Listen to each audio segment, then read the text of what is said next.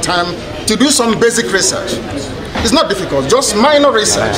You will understand the vacuousness, the emptiness of all the charges against me. Okay. They kept they kept switching the charges. Yes. They said I committed this crime in England, isn't it? Yes.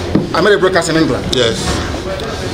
And in nine charges leveled against me, this place where I committed this crime was London, United Kingdom. Yes.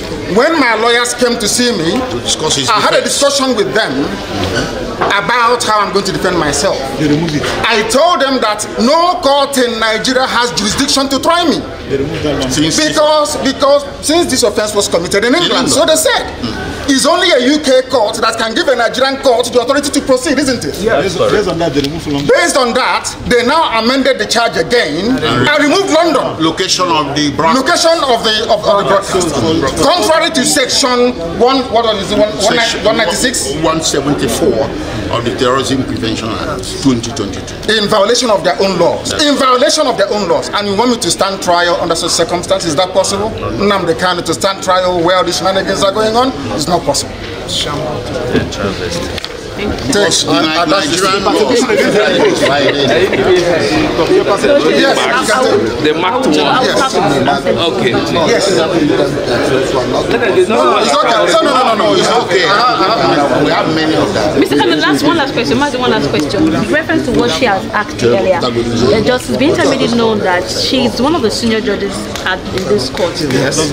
What if And I have respect and love for her. She knows. what if this case comes back to her because she said no other It is person? not possible. This, this, this persecution of the Igbo people, this orchestrated, almost global persecution of the people That it gives of a stops with me. It cannot happen. It can never happen. That is why we do what we do. That is why I do what I do. I am campaigning for the freedom of my people because of the persecution that we are facing. Yes. It's as simple as that. Nothing more, nothing less. Yes. yes. Thank you very much, The rules change when it comes to onye ọbụla na-ezuzu ihe ọ na-ezuzu n'ala Igbo. na-eme ihe ọ na-eme si na ọwụ kwere m ka a ji na-eme ya ọwụ kwere n'ihi m I love my people very much and they know it. I don't want all this, anybody involved. I've been hearing about idiots talking all over the place. Some fools trying to be relevant because of Biafra or trying to use my name to gain relevance. I don't want it.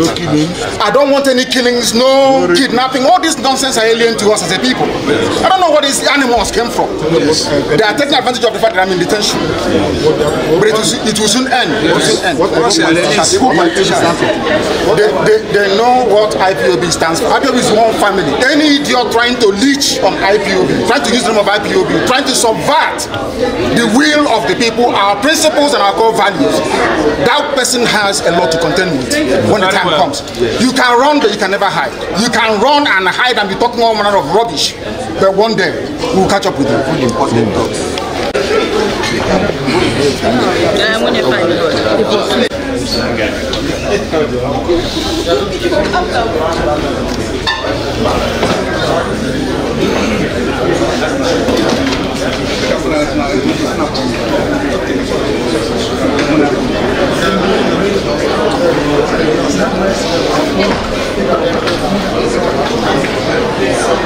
The legal situation surrounding Nnamdi Kanu, the detained leader of the indigenous people of Biafra IPOB, has intensified dramatically with recent developments that have raised significant concerns regarding his rights and access to legal counsel. Kanu is currently facing terrorism-related charges at the Federal High Court in Abuja, where the stakes have only escalated. Earlier this week, Kanu shocked the courtroom when he requested the presiding judge, Justice Binta Nyako, to recuse herself from the case, citing a profound lack of confidence in her ability to provide a fair trial. Kanu's request marked a critical moment in the proceedings. His legal team, led by barrister Aloy Ejimakor, articulated their client's concerns regarding the impartiality of the judicial process. This assertion is rooted in the broader context of Kanu's long-standing grievances regarding his detention and the nature of the charges against him, which many of his supporters believe are politically motivated. In a significant turn of events, Justice Nyako granted Kanu's request and officially recused herself from the case. This decision was not merely procedural, it reflected the growing tensions within the courtroom and the broader implications for Kanu's legal journey. Following her recusal,